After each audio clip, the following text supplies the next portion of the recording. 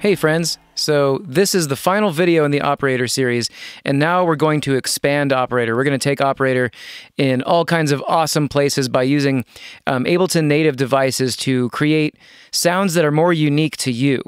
Um, this video is going to cover how Ableton Live, in and of itself, is a modular synthesizer. Basically, all the things that you see in Ableton, all the devices, instrument racks, audio effect racks, all of this stuff is basically modular connectivity for different aspects of the sound that you're trying to create. So, what I'm going to show you now is the the first method that I want to show you is is building an effect chain. Okay, what this is right here, you might be wondering, well, that looks that looks a little weird or strange.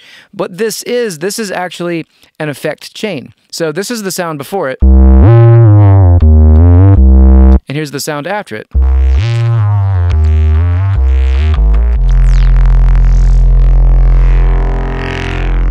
That's awesome. So so as you can see, we've gone from a sound that potentially you've kind of heard before, this to something that is just wild and wide and moving and evolving.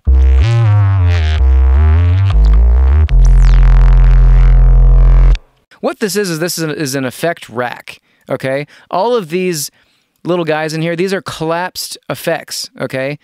So I dragged an auto filter in. I dragged a multiband dynamics in. I dragged in, let's see, what else did I do?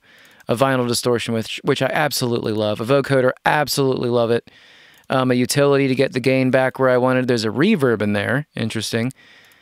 We've got an EQ, and we've got a glue compressor and a saturator. Okay. So let's go ahead and I'm just going to switch these off and we're going to go over kind of the methodology for building an effect rack to go after operator to expand its sound palette and take it in extreme and fun ways, okay? So, this is the effect rack, right? What I can do is I can just ungroup this and now just all the effects are just kind of living after they're all turned off and they're living after operator. If I click on a bar. This is a nice shortcut. If I click on the bar of the first one and scroll all the way to the end, hold shift, click on the last one, they select. All of them are selected now.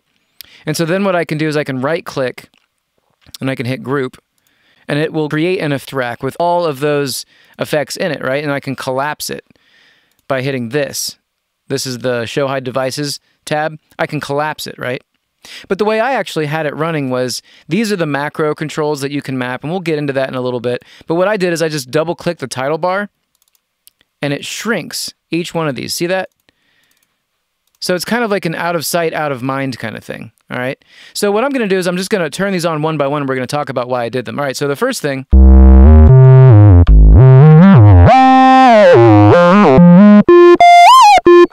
So the first thing I did is I had an auto filter on, right? This is pretty self-explanatory.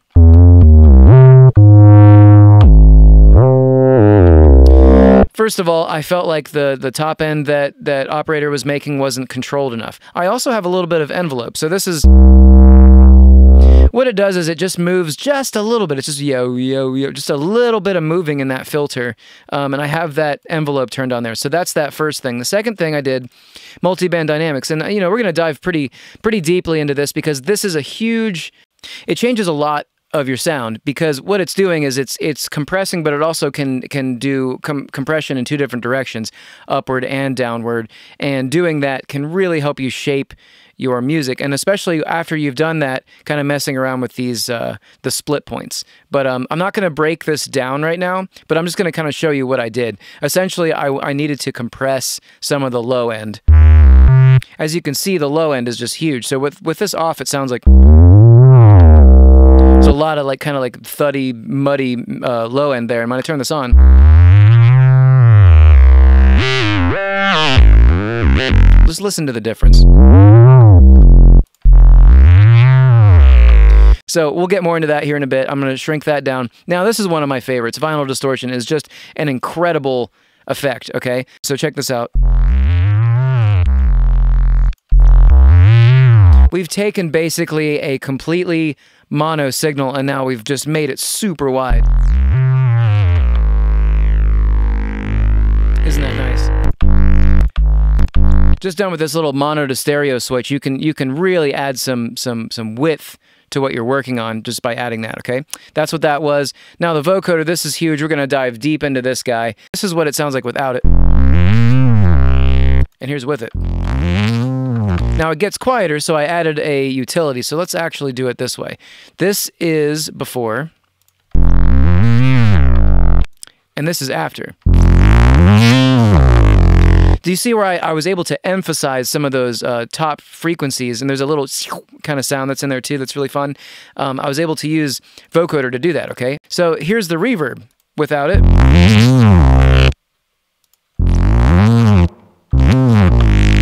Just adds a little bit of sense of depth. Then we've got an EQ8, and listen to the difference before this and after this. So hear that? This EQ kind of addresses that. Now we got. Whenever those treble areas get uh, peak out, this kind of grabs those and and keeps them from getting too loud, right? So this is kind of another tone shaping. And yes, it does make it a little bit quieter, so you can always add some gain here. But what I did is I put a glue compressor at the end of it, all right? So here's without the glue compressor. Here's with it. And what the glue compressor is doing is it's just kind of like evening out the sound. Notice I have it on limiter mode, okay? This is kind of some of the process I want to talk about. This is an extreme setting. Why would I put this in a track? Well, that's okay. A lot of these settings need to be extreme in order to get... We're, we're trying to take Ableton and flex it as hard as we can and move it and just try to get, we're exploring sound. In sound design, you don't need to worry about just forget what you've learned, okay? What matters now is experimenting and taking Ableton to its limits and trying to find that new sound, whatever that new sound is. So in this case, I have this glue compressor really just ducking the sound when it gets loud. But watch that little, look at the gain reduction. We're going between 0 and 10. 0 and 10. How how incredibly far that is. It's just it's just nuts, right? So this is helping us level out this bass sound because really when when we're making bass, we can't afford to have uh, the the signal moving from zero. We can't have a full 10 decibels of dynamic range. We don't want that. So what the glue compressor is doing is it's it's also fusing all of these wacky sounds that we've made with all these effects into something usable, right? Okay, and then finally, talking, speaking of, of gluing, quote unquote, or putting the, the sounds together, we also have the saturator, which is kind of helping us just homogenize the sound into a, an even more um, cohesive, together kind of kind of thing, right? So check this out before it.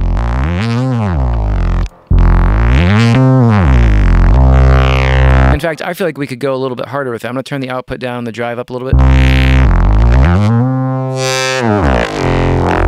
Now listen to that. What what's awesome is that when the signal underneath of the of the drive is playing, there's there's not that much saturation. And once it passes that line, you get a little bit more teeth. So now we have a lot more movement going on. So I'm, you know, this is an extreme distortion setting, right? But the cool thing about it is that the sound is kind of moving in and out of that uh, distortion phase. Watch it.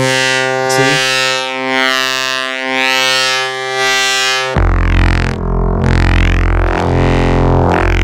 Now, obviously, when I play this bass sound lower, because I was making this for low bass, uh, it's a little bit more controlled and it's not as extreme. So, like, especially in...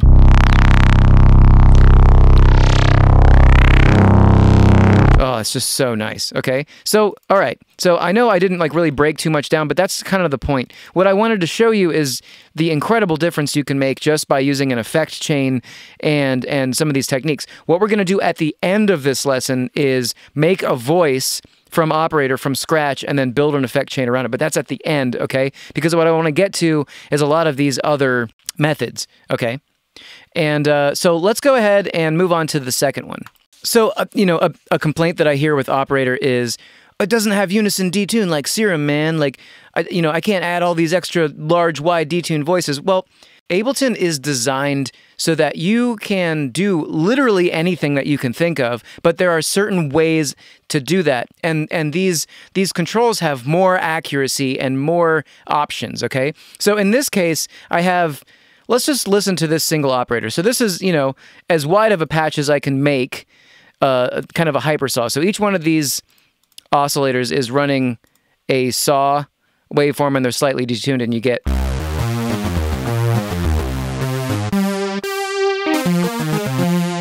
right? Sounds pretty good, okay? But it's not huge sounding. Like and and and if I was making this in Serum or Omnisphere or anything, I would turn on the Unison detune, right?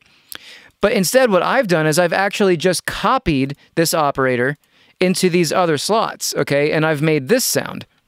It now sounds like this.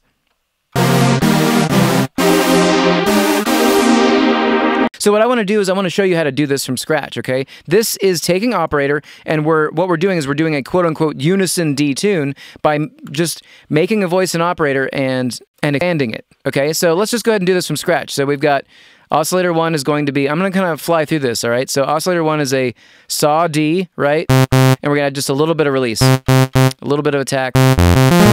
Okay, so what now what I'm gonna do is I'm gonna turn this down and I need to compensate with volume because each one of these oscillators is gonna be the same. All right, I'm clicking on the second one, right click, copy from oscillator A, copy from oscillator A, and copy from oscillator A, right? So now I have a bunch of saw waveforms that are all stepping on each other's toes. So the next thing I need to do is unphase each one of them, right?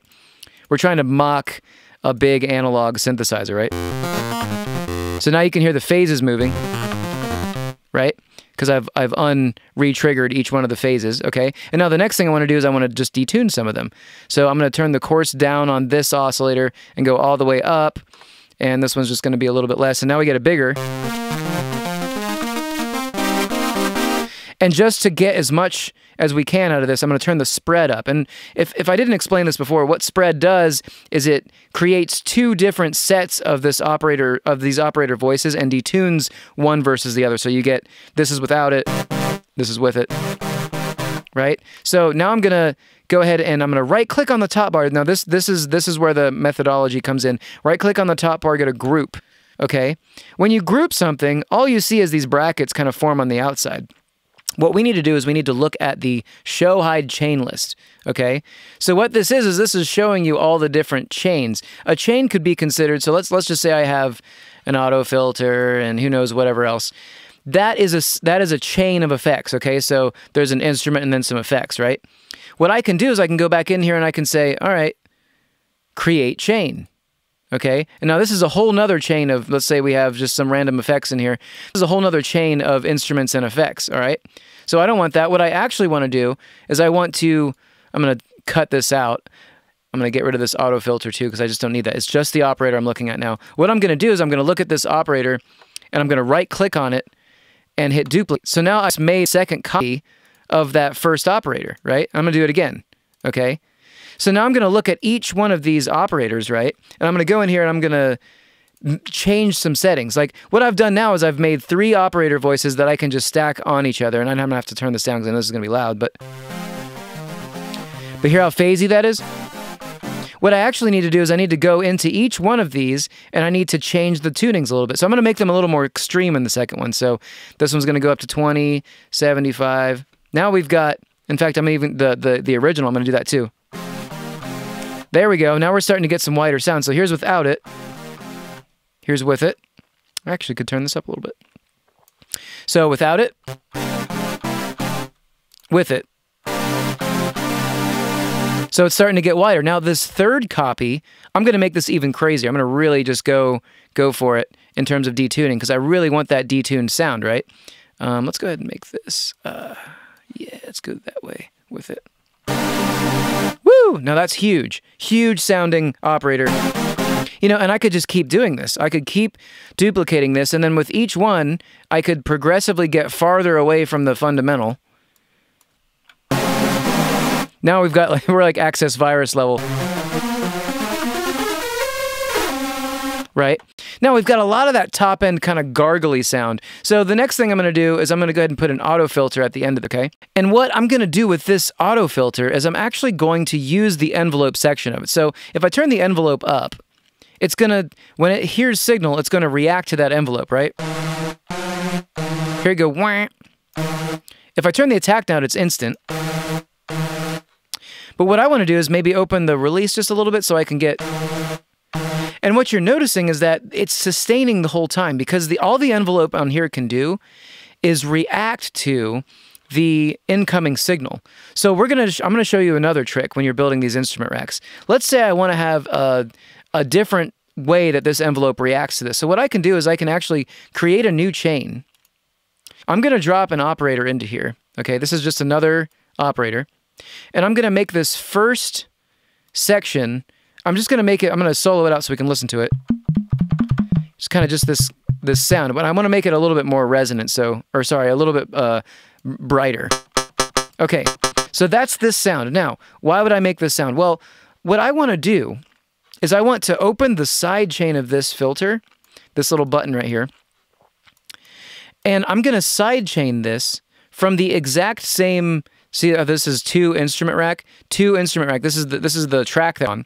I'm going to sidechain this, and, and here's the thing: when you have effects after instrument racks, you have all these sidechain options. Look at all of this, every single one of those operators, okay?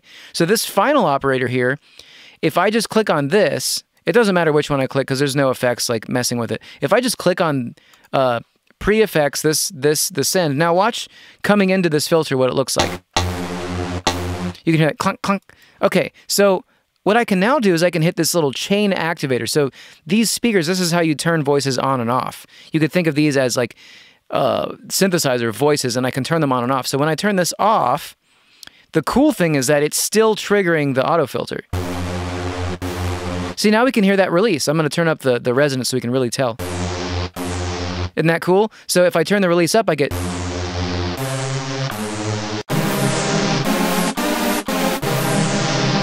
So now we've got a really huge kind of like, if you're going for that analog, you know, uh, vintage analog, like polysynth kind of sound, this is... You've got the the hypersaw kind of thing going. It's just it sounds huge. And the way that I did this is I'm just triggering the side chain here on this auto filter from a, a track that we can't even hear, right? So that's using Instrument Rack to add a bunch of voices of operator. Okay, so operator is not limited to four oscillators. I mean, how many oscillators we got going now? Now we've got 16 oscillators. Actually, we've got if we wanted to really uh, to be accurate, we've actually got you know 20 oscillators running right now and we could just keep going this doesn't take that much cpu and as a side note ableton's native devices are optimized to get the biggest bang for your buck in terms of cpu so the more you can learn how to use these devices the better off you're going to be in the future okay all right so let's go ahead and move on to the next track this I'm I'm actually going to save this voice. I love this voice. I, I'm just so stoked about the sound I made. Check it out.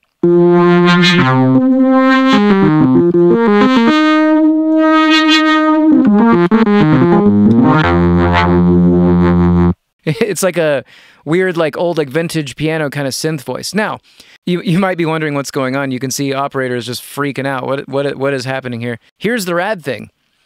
Um, if you have Ableton Suite, you also get LFO.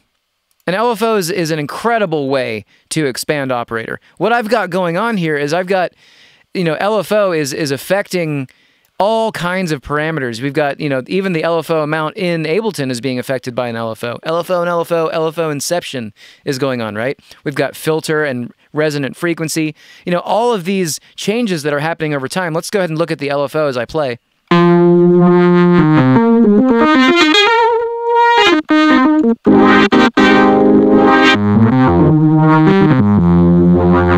Okay, so uh, isn't that amazing? All right, so I've got all these LFOs. Let's go ahead and build a voice from scratch using LFO, okay? So I'm just gonna grab an operator. I'm gonna make a, just some quick edits here. Okay, I'm gonna turn down the volume to compensate. All right, so I've got a little voice here. Maybe I'll yeah, I wanted to get, I just wanted to get a little bit more uh, high end in there. Okay.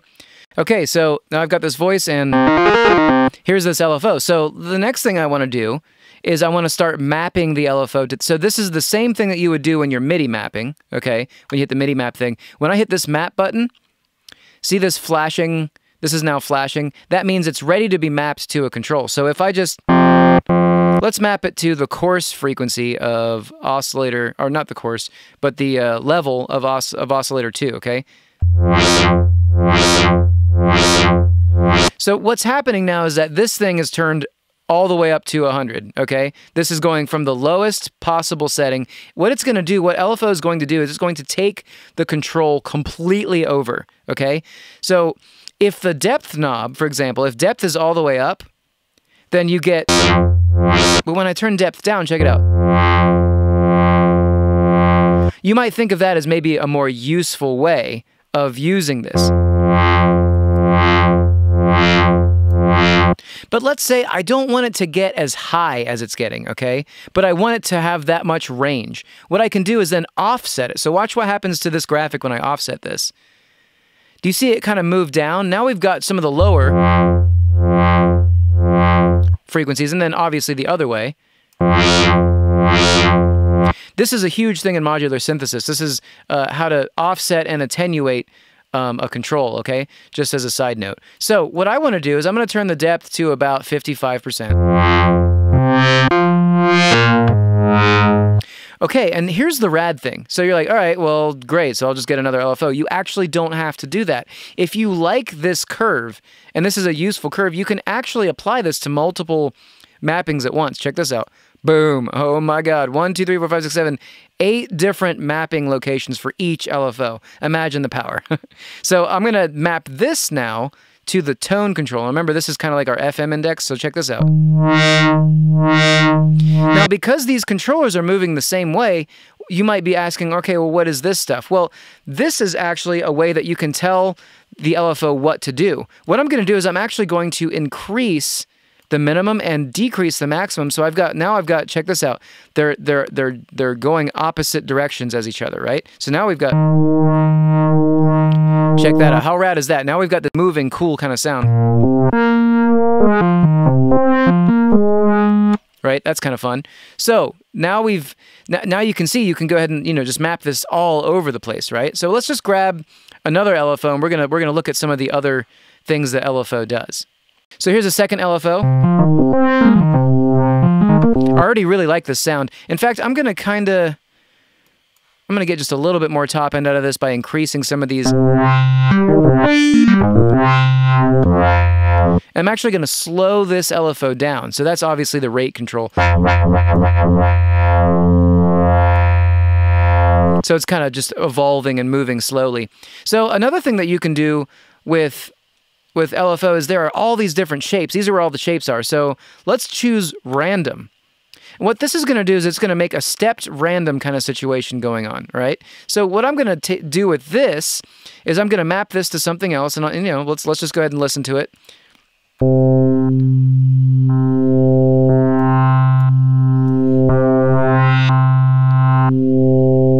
So this is the volume of oscillator C, okay? And we've got the depth all the way up, right?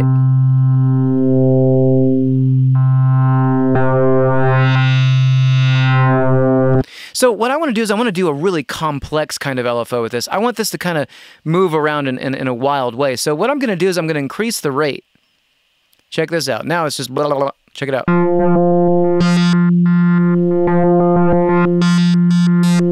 Now, if we had a beat going and we synced this LFO, it could be really fun to have like a really, you know, kind of like a rhythmic thing going on. But that's not what we're doing. We're just, it doesn't matter what the speed of this is at this point, okay? I just want this. Now, the next thing I want to show you is I want to show you smoothing. So what smoothing will do is this, it will, so these are really extreme changes. If I turn this up, this is going to kind of, it's called slewing. This is going to slew. It's going to take these signals and it's going to, it's going to kind of blend them all together, right? Now, if I just turn the rate back down,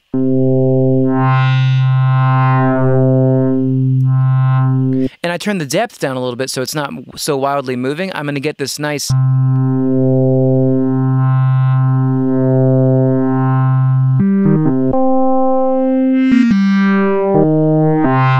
Do you see what I'm saying? So, I mean, like, this is part of this this should be part of sound design. It is 2019. It's time to start embracing the incredible amount of control that you can have over sounds by doing these kinds of like actions. This is what's known as adding movement. We're adding movement to the the sound that we're creating, right? So, you know, another thing that we can do is we can take this very same kind of you could almost think of this as like a drunk LFO and map it to multiple places. So maybe what we'll do is we'll map this now to the the filter frequency, right? So now we've got.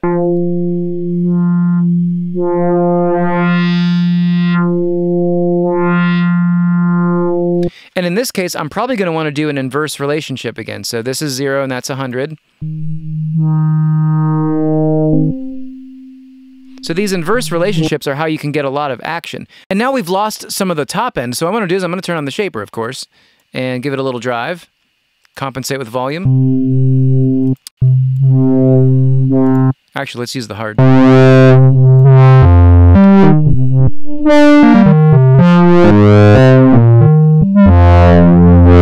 Okay, so as you can see, I could just keep going through and just doing more and more of this, right? And I can just go ahead and tweak some of these sounds. Maybe I don't want this to go as low, I don't want this to go as high.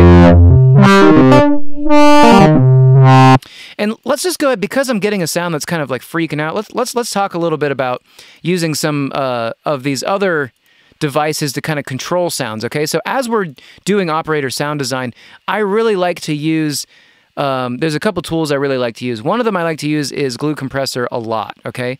So something you can do with Glue compressors, you can turn on this soft clip section right here, and basically anything that goes up to zero will just get totally chopped off, okay? If, if it ever gets that hot. So let's go ahead and just, just to show you, I'm gonna turn down the, the volume of the track, right? So it's real low, but I'm gonna boost this. Now notice that, that because I have soft clip, and, and this would normally be clipping, it would be going above zero. This is, I should also say that at this point, this, wherever I set this is quote unquote zero, okay? Even though this is zero here, when I'm moving this down, this is a macro control over the final output of this track, right? So as I turn this down, anywhere I set this is essentially the track's uh, zero point, right? If I turn up the, the makeup gain to this level, it'll just clip out eventually, right? So, so this is a really good thing to put at the end of a signal chain when you're when you're doing a lot of sound design, right? It just it just it just helps you out. So the next thing I can do is I can pull the threshold down. And now I can I can kind of control this sound a little bit, the dynamics of moving it around, right?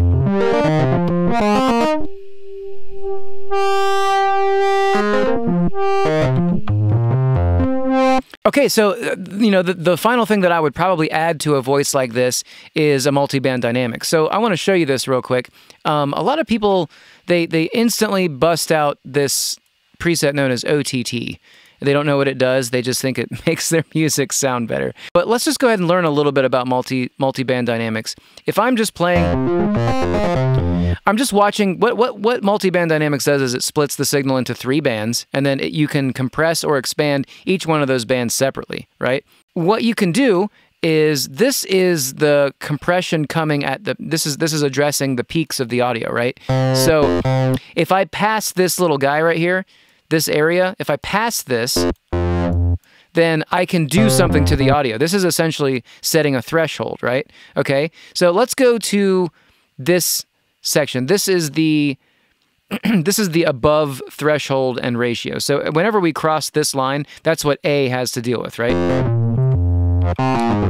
So there's a lot of mid-range in here, and it's kind of annoying. So I'm gonna I'm gonna uh, increase the ratio to about three, you know, uh, four to one, right? So at four to one, watch what happens. Now you can see what, what's occurred is that this is the peak of the audio of the incoming signal, and this is now where the incoming signal is hanging out. This this area right here. It's pushing it down, and it's showing me live how much it's pushing it down, right? Negative 17. So I'm going to recompensate a little bit of makeup gain here, but I'm not going to add all of it back in. So listen, I'm going to A-B this now. So without it, we've got kind of too much of that mid-range. Now with this, and now it still kind of sounds muddy to me. So I'm to do the, the same thing to the low end, right? So I'm to increase the ratio. Yeah, let's go up to four.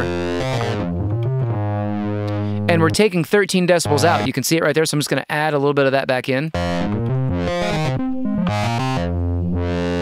And now another thing that I can do is I can also I can I can also add some highs back in, right? So what I can do is is is I'm going to compress this, but I want the highs to have less dynamics. I want them to be more present. So what I'll what I'll actually do is I'll increase the ratio.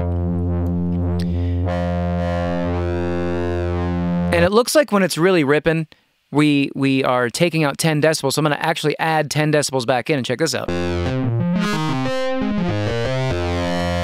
Now we've got a more filterable sound, right?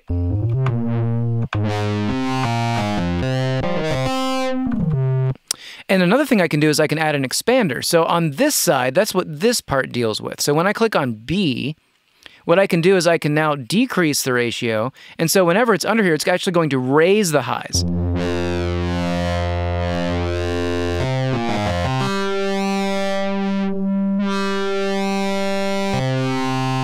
Okay, so now the highs are present almost all the time. And that's essentially what this OTT plugin uh, section is doing. It's also got some fancy settings on the attack and release. And also you can deal with this, remember uh, in, in Operator how you have, you have a time knob? You can also set the time here. And what this is doing is it's shortening or lengthening the attack and release times. So if you increase this, you could probably get maybe just a little bit more of a natural sound, right? If you if you increase this. Now the other rad thing about multi-band dynamics is that you have an amount control, okay? At zero, essentially this should just should sound like what it sounds like without multi-band dynamics even on, right? Essentially there's no compression and then when you turn it up, you get Now listen to that. We've really got this like now that we just the idea is that now that we've just kind of screwed everything up with these LFOs, we've brought it back to a homogeneous center with multiband dynamics, right?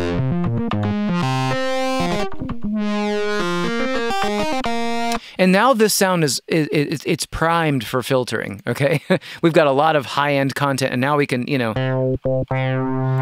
whatever it is that we're trying to do, no matter what kind of filtering we're trying to do, we have got enough harmonic content in there to really mess with it. Right? Okay. So, that's using more LFOs and using multi-band dynamics there. Let's move on into this next section. And this is what I feel like is kind of an unexplored area. And I find it curious. I mean, we've really focused on very specific styles of synthesis um, in the digital world. But we haven't really focused on wave shaping. And I think wave shaping is really cool. Um, let's go ahead and listen to what this sounds like without the processing, okay? And we've got.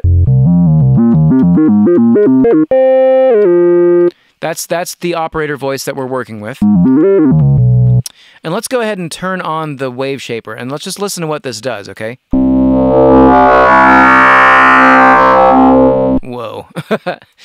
Pretty rad, right? So, what wave shaping can do, wave shaping is awesome. Wave shaping is a really cool way to make new tones, especially out of sounds that are, aren't very bright and don't have that many harmonics in them. Um, and I really think that this is a this is a really awesome frontier. What I have going on here is just a LFO, um, a multi-band dynamics, of course, which you already saw in the last uh, section, and the saturator, uh, which which has this is where the wave shaper is found, and it's the last algorithm in saturator, right? So the the end result you get is.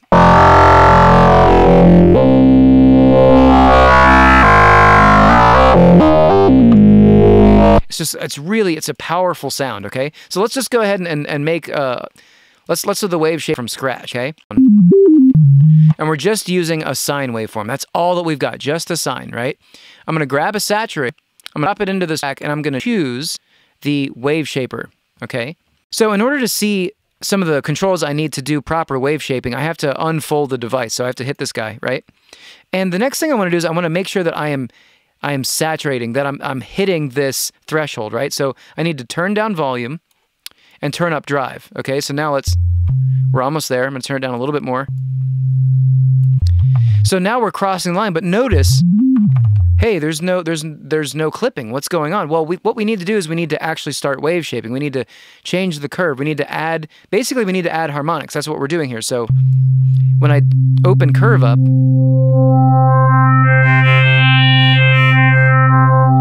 How cool is that? You get this like.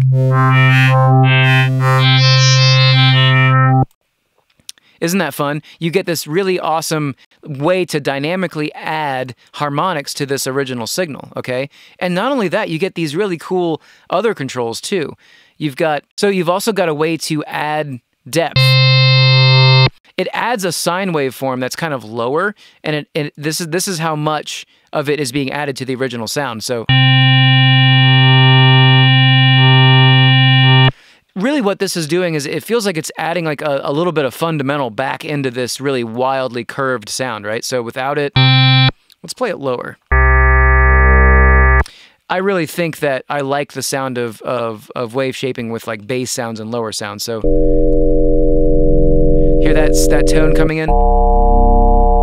Oh, it's just so powerful. It's got so much meat to it, right? So so the next control is this linear control, and, and basically what it does is it it works with these other controls to kind of make it so that the curve is is affecting more or less of the fundamental. Right? So now we've got less low end, and now we've got more.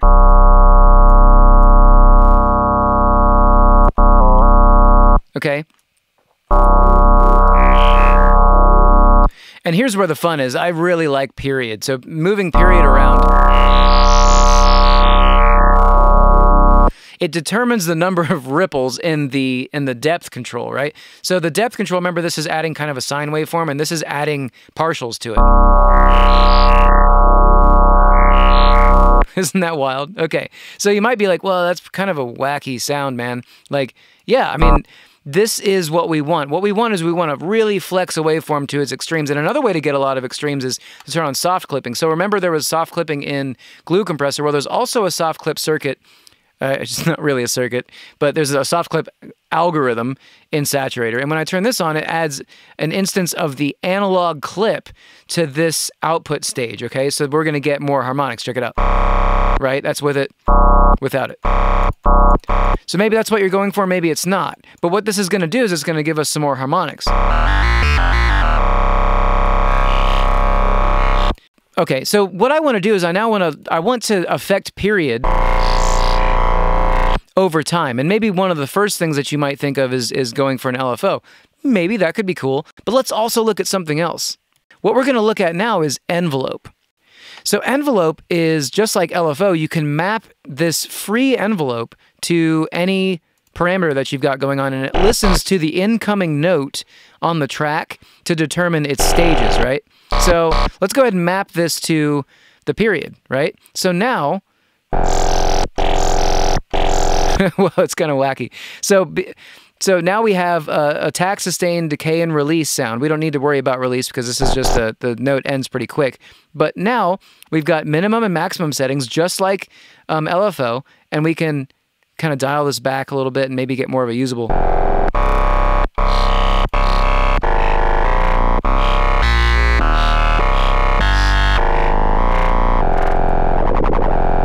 Wow, that's crazy.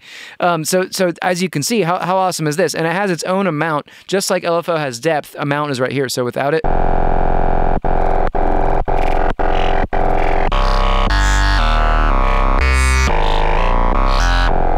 So yeah, a lot of unexplored territory with wave shaping. Really get into this. This this could be this could do a lot for you. So I actually want to listen to what this sounds like without soft clip on.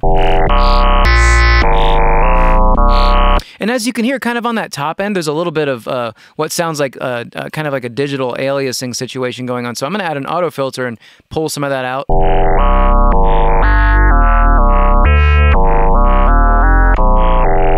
Okay, and you might be like, well, we've taken a lot of that top end out. But remember, the idea is that when you're building an effects chain, you know, if I've lost top end,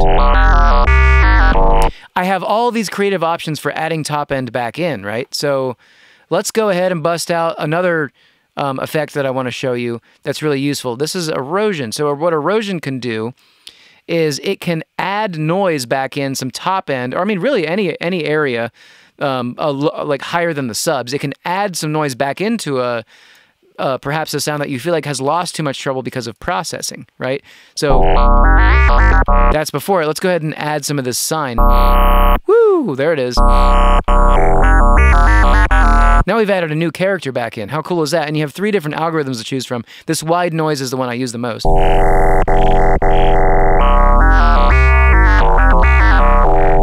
Okay, so now let's listen to this. I'm going to group these two together holding shift, right clicking, hitting group, and let's listen to the difference.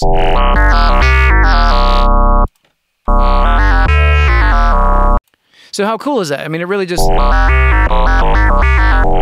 you know that's that's getting closer to a completed sound. Obviously, this isn't a completed sound, but you know, I mean, I, this lesson could go on for hundred years if we wanted it to, right? But I'm just kind of showing you some of the the the, the ideas uh, present in in sound design, right? Okay. So let's move on to something really exciting. What I've got going on here is this is just an operator track.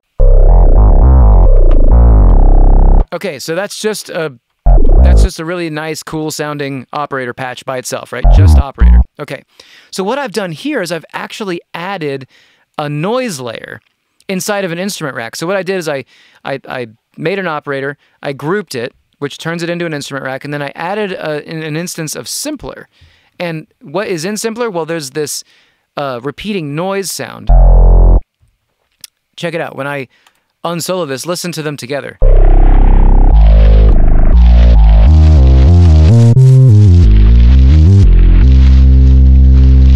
This is what the noise uh, sounds like itself. So what this is actually is a noise from a sample pack that uh, I and my friend released recently, known as the Forest Collection, and this is just a a texture of us probably waving a, a, a stick around. If you're interested in uh, getting a really nice, big, fat sample pack of really fun, like nature sounds, you can go ahead and check out this link up here. And that's where you can get that if you want that. So having samples and adding them to sound design is a great way to get really original sounds going because you can have samples interact with operator in really interesting ways. And in this case, I'm using it as a, as just a layer. So this is a noise layer. This is a noise layer over top of operator, right? So when I play them together and kind of in the bass region, I get right? So now they might sound a little disjointed. So what I did is I added a saturator to get them to kind of fuse together, right? It's a lot of distortion, right? What it's doing is kind of it's put it's pushing those sounds together. And I also added a notch filter in that kind of mid-range frequency that's that's kind of overpowering. So check this out.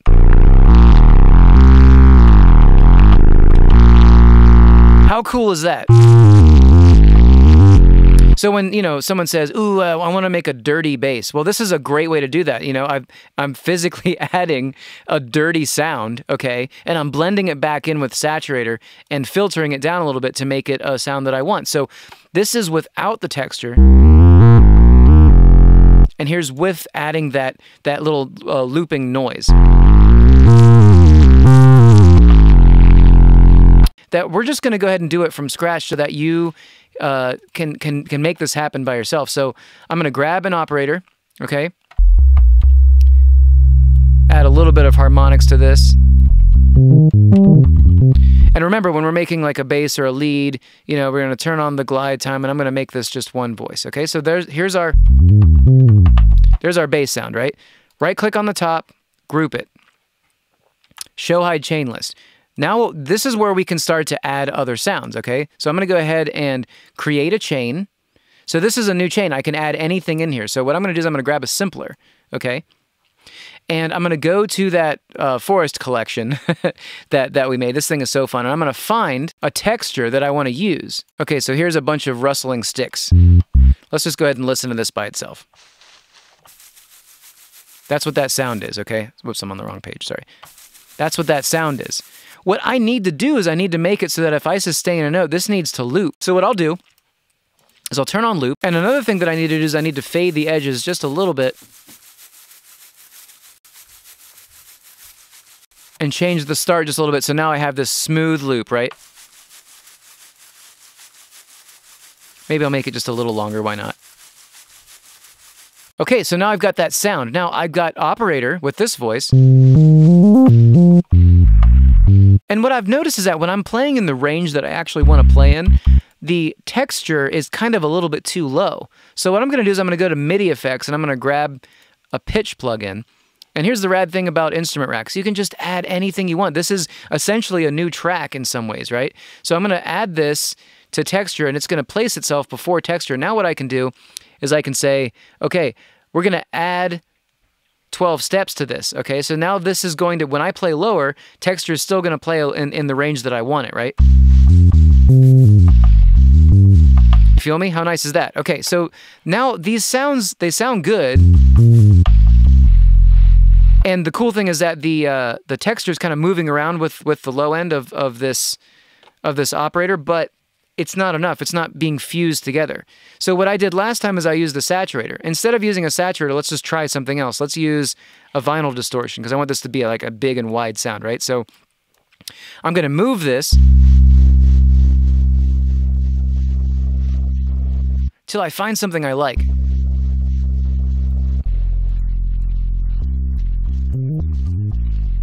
Now that's a huge sound right there. So that's really uh, loud and it's clipping out. So let's go ahead and add a glue compressor, remember, and then turn on the, the soft saturator and then the... Now we can turn this down a little bit. And we're going to clamp down on this with the threshold and use some makeup gain.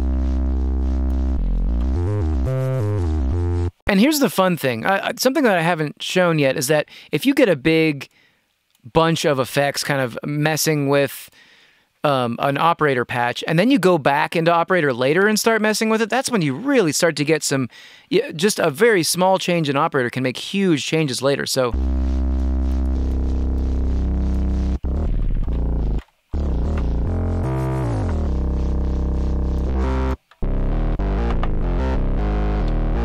So as you can see, this is a great way to make basses that have more action on, in the top end. All right, so that's adding a, a noise sound to operator and having basically a sampler and operator work together. Okay, so now let's take a look at vocoding. Vocoder is just such an awesome tool. It's I really think it's it might be one of my favorite things to use in Ableton. It really helps. It just gives you a lot of control over stuff. So let's go ahead and, and check out what we got going on here. I have this incredibly awesome voice. There's just so much going on here. Okay, so this is a really fun voice. This is operator. This is what the operator patch sounds like. Really kind of dirty patch. We're using uh, sine 4, the 4 bit sine kind of thing. Listen to the difference without sine 4 bit.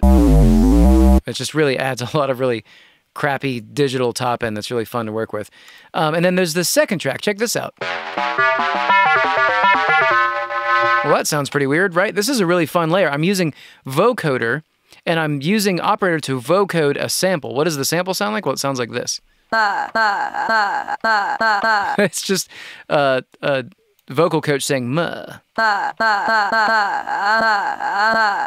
and it, it kind of plays back and forth. And what I'm using is then vocoder to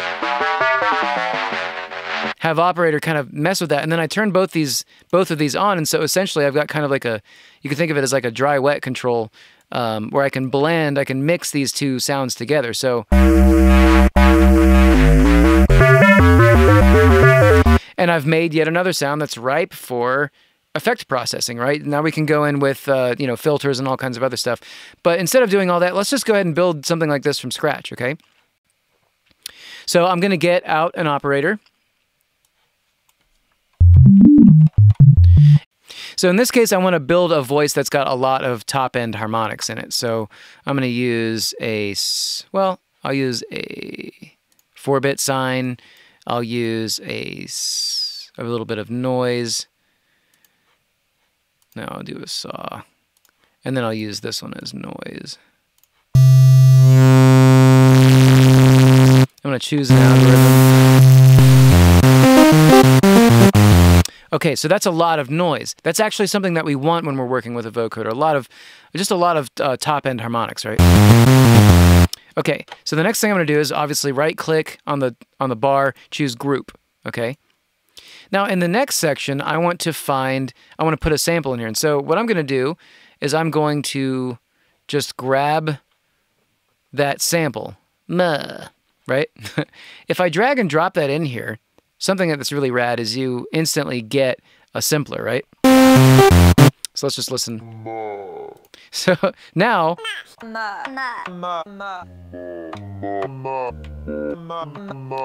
What I don't want to have happen is I want this actually to play at the same pitch all the time. This sample, I'd like the vocal to be exactly the same every time I play it because I don't want the note to change. I want operator to change the note when we're using a vocoder. So what I can do is I can actually right click in here on the top bar, and this is this is a little Ableton secret.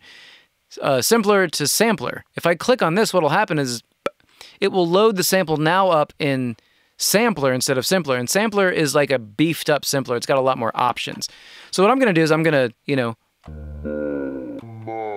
Now, if I play this with the scale all the way up, when I play up the keyboard, it's going to go up in pitch. But if I make this zero, now I get.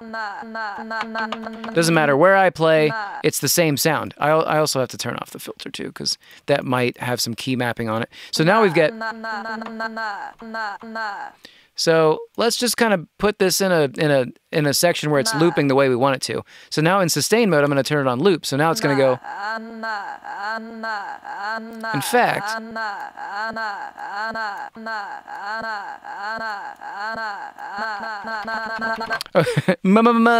so now we've got um, this kind of looping, and the next thing we need to do is we need to put the vocoder. We need to put the vocoder on that part of the chain. So the ma part, right? And the next thing we need to do is we need to choose what the carrier is. The carrier is the the the thing that's determining the notes, okay? So external, and now we get this drop down menu, right? And now we can choose vocoding is the track that this is in, and I can choose the operator, okay? So now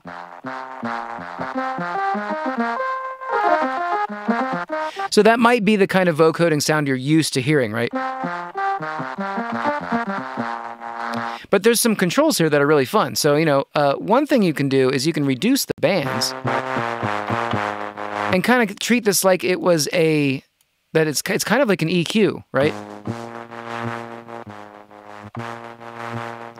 I scoop the mids a little bit to get you know more of a high-tech sound. Another thing you can do is you can increase or decrease the range of this. So this is the top and the bottom. There we go. Now we've got some some fuzzy things. And now as as I move Formant around, this is kind of a this is kind of a fun control to, to, to tonal sculpt. And then what the, the final control I want to show you is depth. So what depth will do is it will impart less or more of the ma sound over top of the operator sound. So I'm actually going to turn this up just a little bit.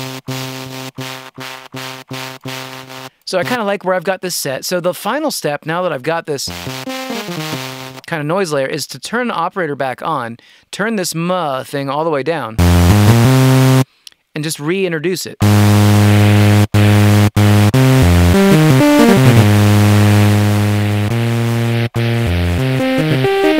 Oh, and just listen to that ridiculous phasing we have going on.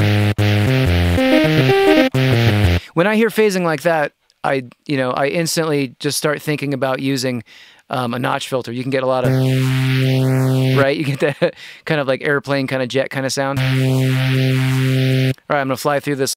So I skipped ahead and I added an auto filter and some multiband. And now, again, now that I've got all these effects kind of going on here, any changes that I make earlier in the chain will be a you know a big deal. So I can go ahead and maybe filter this down a little bit. Maybe add some shaper.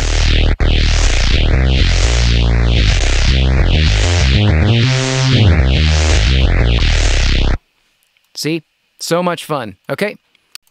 So let's move on to something else entirely. This is now using operator to trigger a delay, okay? This is a totally different way to use this. What what now is happening is I've got just a, a really quick, sharp kind of sound, okay? I'm to turn these off so we can really hear what's going on. So now what, what this first operator is doing is just, all it's making is a click sound. What I did is I dragged a simple delay in here, and you can, I mean, just uh, the new delay, like anything you can use, all you need to do is just turn the time down way low. So we've got, it doesn't matter what I do, this little click sound, all this is just a little click sound. When I play it into this delay, if I turn the feedback up and the time way down, I get this this is a, a, type of synthesis known as Karplus-Strong. It's just taking a delay, and the delay is happening so fast that it's making a note. It's at audio rate, right? So the next thing I did is I added an auto filter.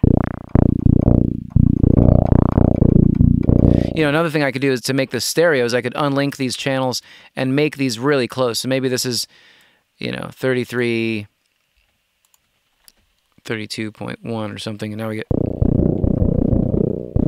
it's a pretty sweet sound. Might be a little far from the other one, maybe 32.8 or something.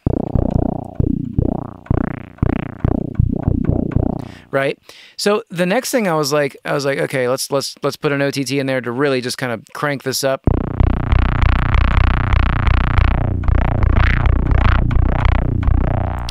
Now I really like that, but what I want to show you is this next thing that I did. What I did is I, I I didn't want the sound. I wanted to play it rhythmically. I wanted it to stop when I lifted my finger up off the key. So how can I how could I how could I make something like that happen? Let's say you're in the middle of a sound design session and the sound's just lasting kind of too long. Well, this gate here can be side chained. Okay, so what I did is I opened the gate up and I turned on side chain, and I I started another operator. Okay, let's just go ahead and listen to this up. I got to turn it down to super.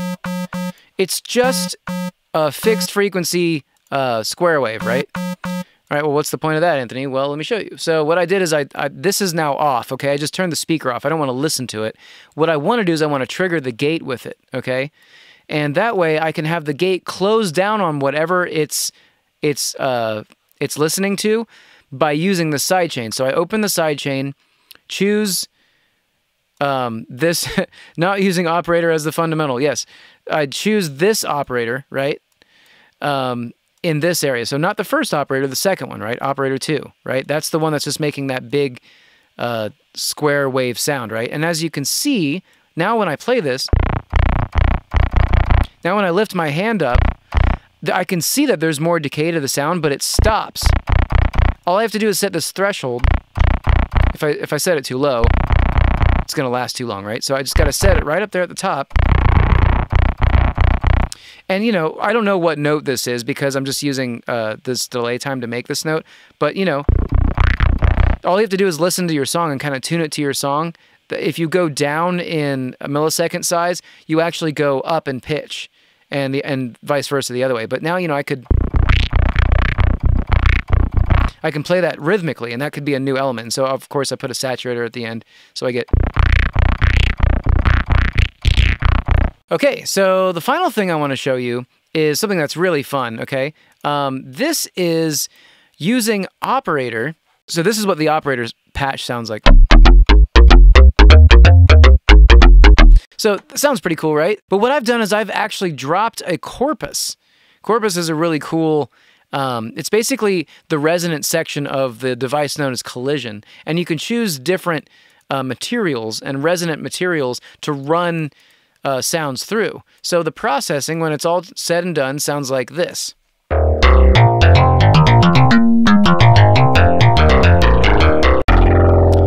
And what's rad about this is you can make like you can just make the coolest like natural kind of sounds. I mean, a lot of people just end up using Corpus for just uh, you know drum sounds, but the the rad thing about it is that you can change the uh, pitch that see these incoming notes, you can actually change the pitch by sidechaining. So we're going to build this from scratch, all right? And I'm just going to choose a triangle waveform. There's not that much going on with it. It's just kind of, you know, it is what it is. And what we're going to do is we're going to go to audio effects. We're going to grab a corpus, okay? Now, right now when I play this, that's not really doing much for us. The the corpus is staying on the same note. So the, how do you do this? Well, so how do you do this is you need to open corpus up, okay? And then you've got this you've got this oh sidechain. Oh wow, you can you can feed it MIDI. So I can just choose um, eight operator, and now I can now it's going to listen to the incoming MIDI data, and then you can tell it what to do with it. So what I can do is I can turn on frequency, and now this same sound we've got. Okay, so now you can hear what's going on. What, I'm, what I want to show you though is that what operator needs to do is operator needs to make kind of like a brighter sound in order to, to make this work because this material, I mean, really any of these materials, you can get some cool like stereo effects going on. And maybe this would sound cool to distort, you know, and then filter, of course, you know. But what you really want to do when you're working with these resonant materials is you kind of want to what's known as strike them, okay? So what I need to do is I need to go back into operator, right? And I need to make this kind of more of a Let's turn corpus off so we can just listen to operator. so that's our like, you know, Casio keyboard kind of sound coming out of operator, right? But when I turn on corpus, now that I've got this bright sound, Check it out. So at this point, yet again, the world is your hamster. Choose all these different resonant frequencies and kind of mess around with them, you know?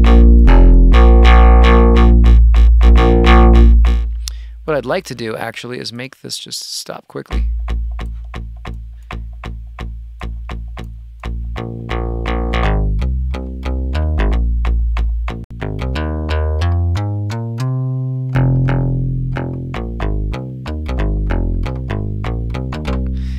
What I'm going to say in, in this case is that there are really.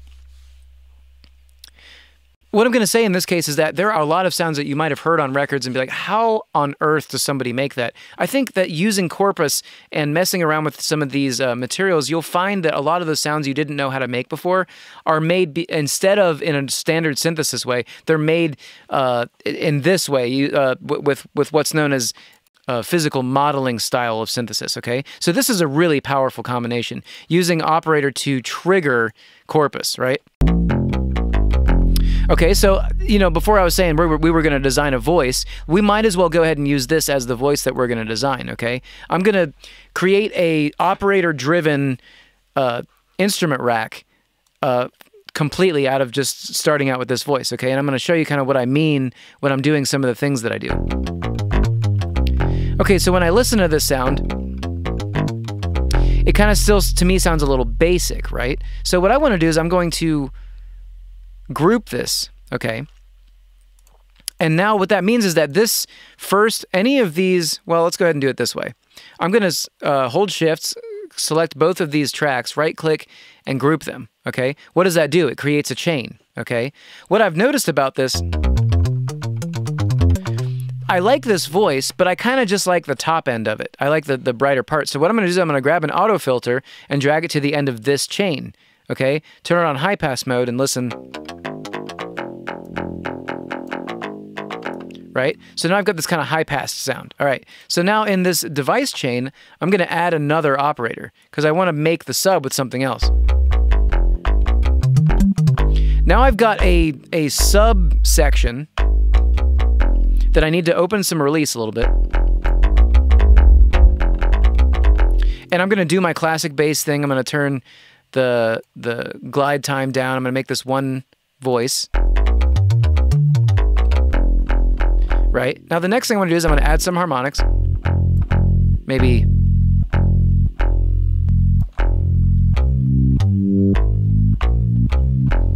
So now I've got these two different sounds going on. I've got this kind of like sub and I've got this other sound. Another thing I'm going to do is I'm going to go ahead and remember I'm going to I'm going to add a noise layer to this, okay? I'm going to just a little bit of a noise layer. So I I made a chain.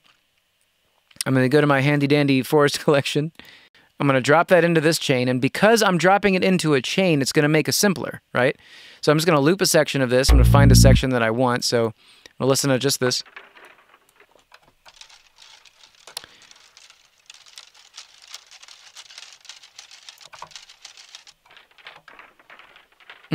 Okay.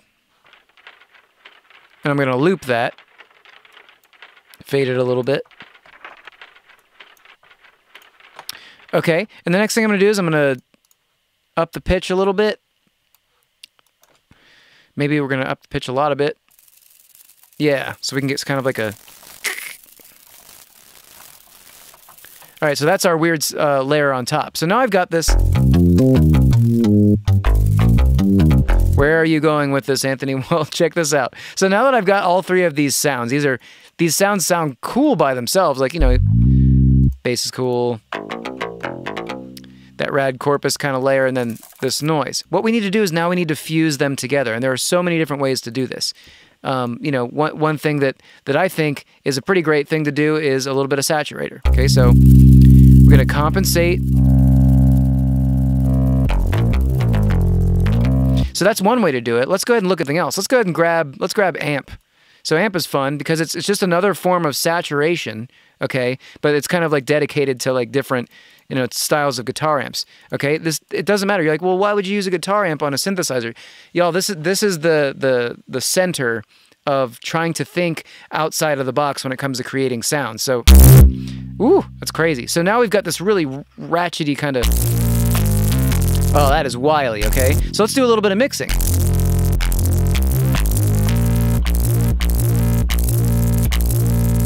Okay, maybe a little bit of dry wet.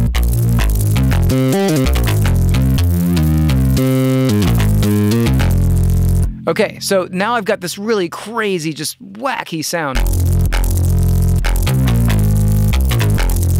So this is a great time to now what? Filter. Okay, so now I can add a, a low pass filter. And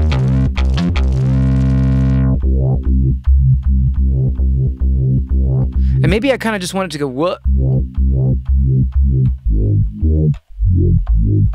Maybe that's kind of what I want to do. So how would I do that? Well, I would grab an envelope.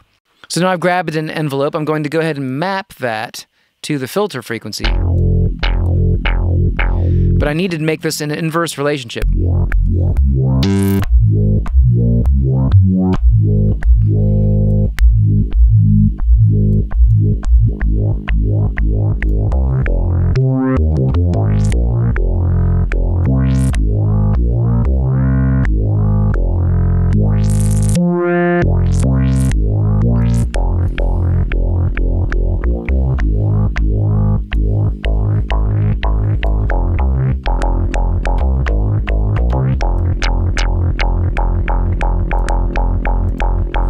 So I'm going to soften some of these attacks.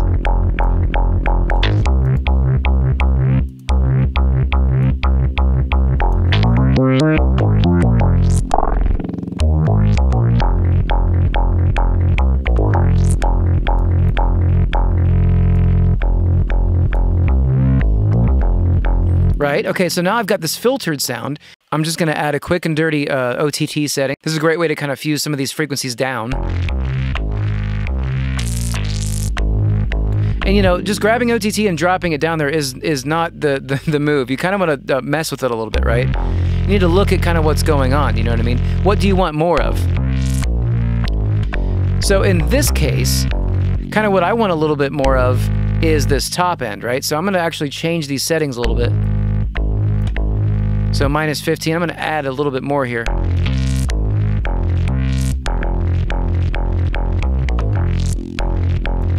Right? Now that sounds kind of cool. I mess around with time a little bit. Maybe a little more mid-range.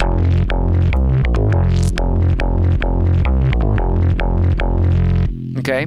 And at this point, now that I've added this, I'm actually going to go ahead and put a, at the very end of the chain, I'm going to put a glue compressor in there to, uh, you know, just ensure, I'm going to turn on the soft clipping just to ensure that we don't hit the top.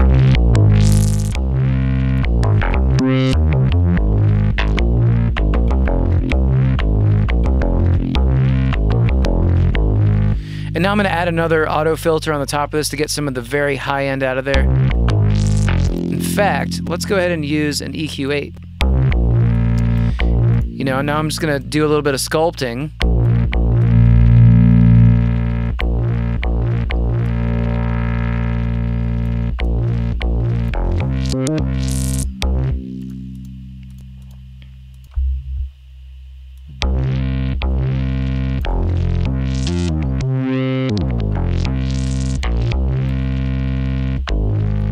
Put this glue compressor at the end.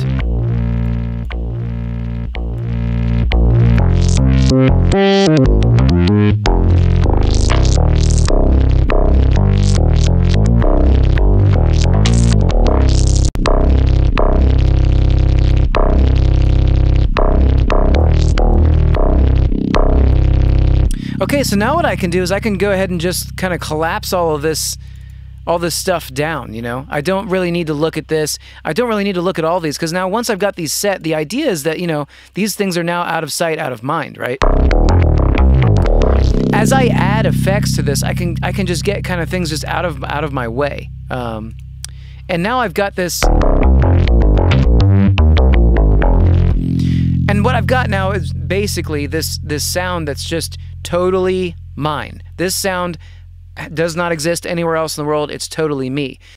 When we talk about, you know, sound design and stuff like that, I think a lot of people uh, what they want to see is they want to see how to make exactly a specific sound that they heard. And I really don't think that that is the approach that you should be taking as an artist. I mean, in, in, in general, the moment that you start trying to emulate a sound that you've already heard, you're already 14 steps behind. The people that are making new sounds and, and, and, and forging new places just just totally forget the idea of trying to copy another sound. And instead, your time is going to be much better spent understanding how to do some of these different methods that I'm showing you and, and any other methods, methods that you see, and then really developing your own methods by using um, effects to just their their their their total extremes, and then just taking them and changing them and moving them around and and developing you know new sounds. Because when you when you're creating music, uh, you know, sound design music, you know, like electronic sound design music, like the the the idea is not to sound like what you've already heard. The idea is to sound like something that nobody's heard,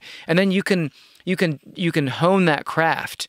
And over time like that craft is going to get better and better and better and you're going to develop a sound around yourself you know a set, what is the sound design trick that you do that you're bringing to the table that's that's getting people stoked you know? So yeah um, um that is taking operator out of its original you know that's taking operator out of what it is by itself and adding effect chains, you know, grouping them together uh, to, to make more of them, using LFOs, wave shaping. All these different tools can really help you take Operator to the next level. And again, using Operator with all the different tools that are available to you, there is no sound that you can't create. There is no radness that you, you know, you can make all kinds of stuff. And and what I want to point out to you is that only in that first effect did we even end up using reverb this whole time.